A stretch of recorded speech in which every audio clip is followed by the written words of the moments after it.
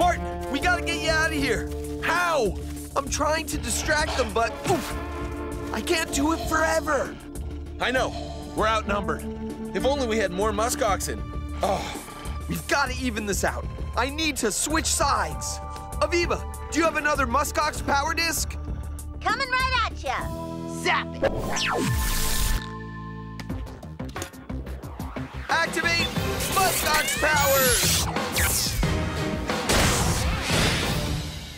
Chris, quick! Let's try the muskoxen's classic protective circle defense. Yeah! Oh, sorry, guys. This predator-prey thing is so hard for humans to understand. But we know there are two sides to it. There are really no bad guys. In fact, getting food is not easy for predators. It's not just a walk to the grocery store. The food tries hard to get away and protect itself.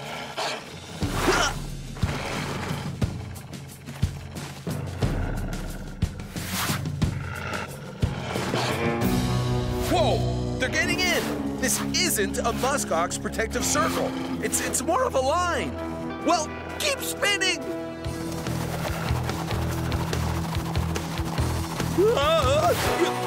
Okay, now I'm dizzy. Oh! Ah, me too! That's not really the muskox protective circle either.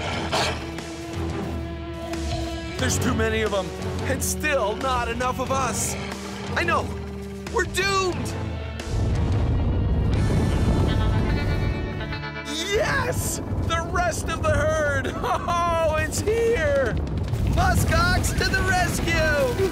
Oh, they came looking for you, Kid Muskie. Now this is how it's done. The classic muskox protective circle. Everybody shoulder to shoulder with horns facing outward and the calf protected in the center. Fortress that's pretty hard for the wolves to penetrate. They'll test it anyway. Ooh, those horns are sharp. And really strong. Ooh, ouch. Aw, getting food can be super dangerous for a predator. They can get serious injuries and even die. Haven't given up yet. Their defense is working. It's a battle for survival. Back off, wolf. That's it. They've had enough.